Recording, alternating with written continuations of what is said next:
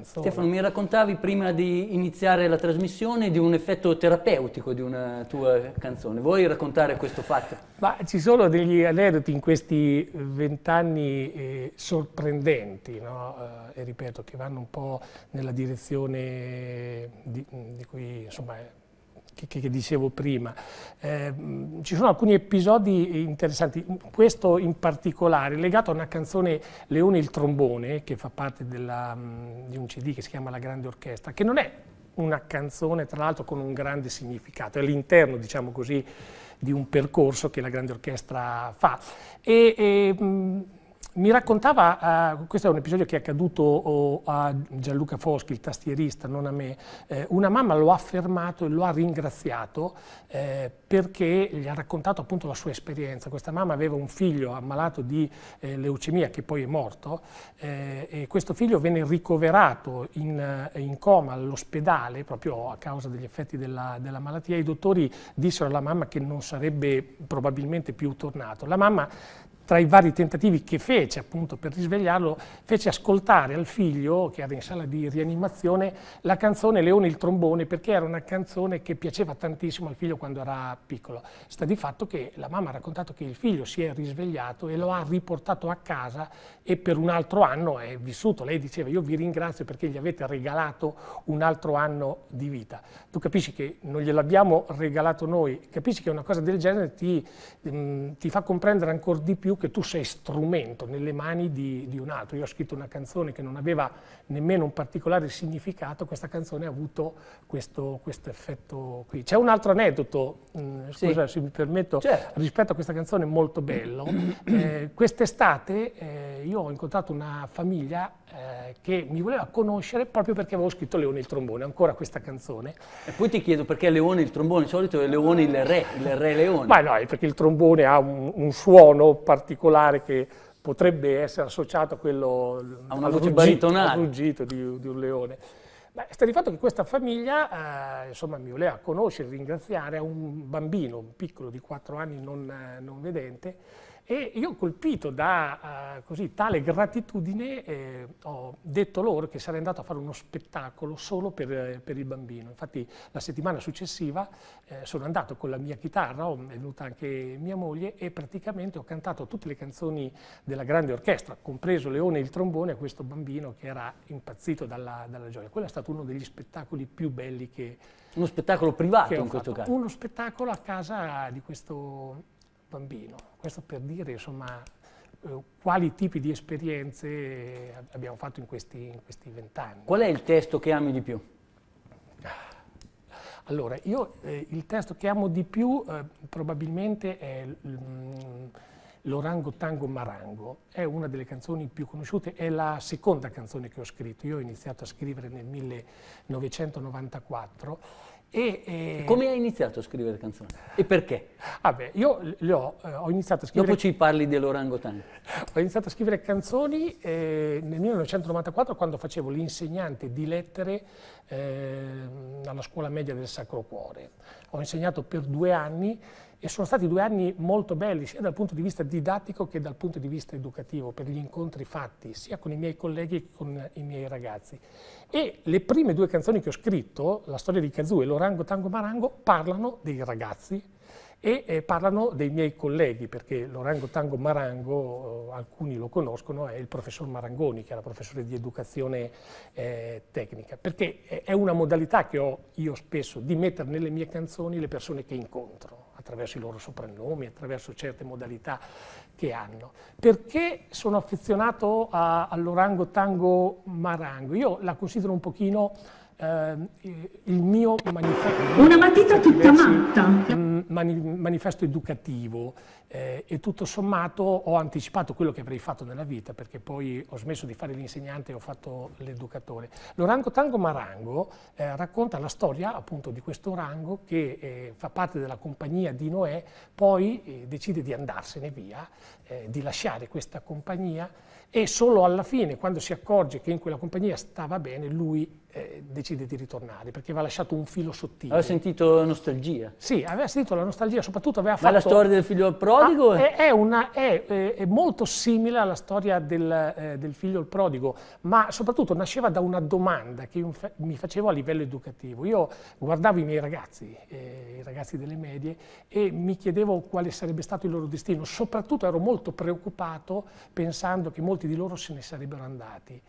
E allora scrissi questa canzone perché il significato educativo vero è proprio questo. La cosa importante, soprattutto quando sei con dei ragazzi, è fargli sperimentare delle cose belle, fargli sperimentare un'accoglienza, un abbraccio, perché poi se ne possono anche andare, possono anche lasciare l'esperienza che hanno fatto, ma se hanno vissuto davvero quella bellezza, sanno che in quel luogo lì possono ritornare. Allora cos'è la bellezza però? Cos'è la bellezza? È un dato oggettivo o un dato soggettivo? Cos'è la, eh, la, la, bellezza? Io credo realmente... O la bellezza di queste esperienze? No, no, io credo che... Eh, provo a pensare al mio oh, lavoro, cioè, eh, eh, prima dicevo che scrivere canzoni, eh, per scrivere canzoni bisogna partire dall'io.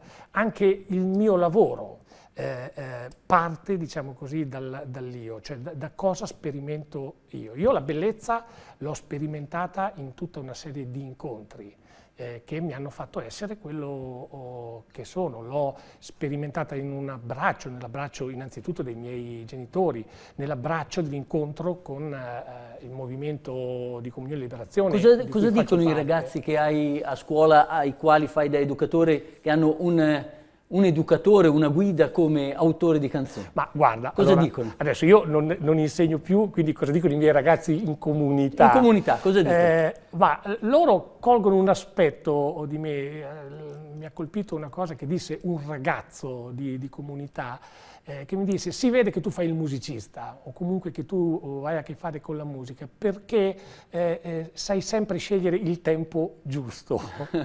Ed è bella questa cosa qui perché eh, per fare l'educatore spesso bisogna scegliere anche i tempi giusti, soprattutto con ragazzi come quelli che ho io, che alcuni sono disabili ma altri sono ragazzi che eh, sono tra virgolette, insomma, cioè, sono ragazzi normali ma eh, che vivono situazioni borderline, spesso insomma sono ragazzi anche aggressivi o comunque sono ragazzi che, eh, istintivi, ecco, diciamo così. È, è, per questo che è importante scegliere eh, per certi versi i, i, tempi, i, tempi, giusti. Ma il musicista che aiuta l'educatore o l'educatore che aiuta il musicista? Ma io credo che eh, eh tutto sommato ci sia una sorta di eh, reciprocità, cioè il denominatore comune innanzitutto è sempre tu come stai di fronte alle cose, tu come le vivi, eh, la serietà con la quale innanzitutto ti alzi la mattina e guardi te stesso, perché fare un lavoro come eh, quello che faccio io significa che eh, comunque tu devi introdurre i ragazzi nella realtà, educarli, no?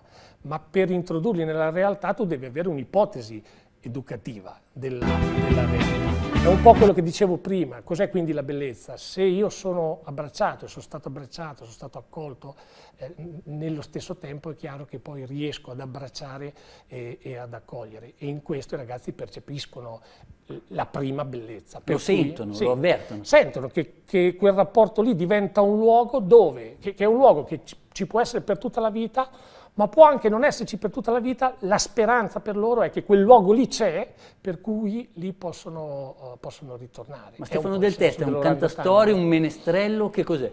No, no, io eh, ripeto, preferisco pensare che sono uno che ha avuto una grande fortuna eh, nella vita per tutta una serie di incontri che ho fatto, a cominciare dal rapporto, ripeto, con... Eh, con la mia moglie non, non è secondario uh, e non è secondaria questa cosa, io a casa ci sto poco perché tra uh, il lavoro che faccio e, e, gli spettacoli, che adesso ultimamente mi impegnano di meno, però so, sono mh, mm, spesso fuori, fuori, casa, quindi avere una moglie che tutto sommato ti...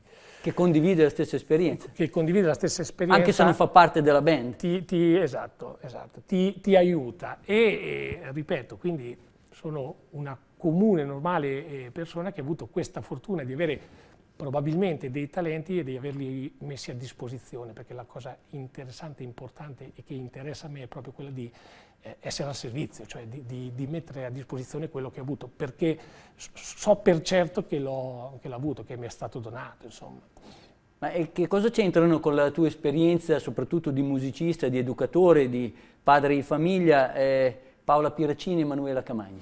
Beh, Paola Piraccini e Emanuela Camagni sono state due persone molto importanti in quello che è il mio percorso di vita e la mia strada. Ricordiamo brevemente anche chi sono. Sì, Paola Piraccini è, è stata la preside della scuola dove io ho lavorato dal 94 al 96, eh, un'insegnante storica del, del, liceo classico, un personaggio quindi comunque pubblico e responsabile del movimento di Comunione e Liberazione fino alla sua morte. E, e Paola Piraccini è stata molto molto importante proprio per il mio percorso educativo e formativo. Io a lei ho dedicato una canzone, Il tempo corre, dove c'è un passaggio di tutta una serie di cose che lei ci diceva. Paola mi ha insegnato nella vita a partire da ciò che c'è, cioè di fronte alle mie lamentele, di fronte spesso eh, alle mie pretese no, rispetto agli altri, eh, lei mi fermava e mi diceva parti da ciò che c'è, cioè parti da quello che ti è dato, cerca quello che non c'è. Non bisogna aver paura della realtà. Sì, non bisogna, bisogna paura della faccia. realtà, esatto. E, e, e, questa è una delle cose che Paola mi ha insegnato. Manuela, Manuela Camagni che era a servizio di Papa Benedetto. Manuela Camagni era a servizio di Papa uh, Benedetto, eh, è stata la mia babysitter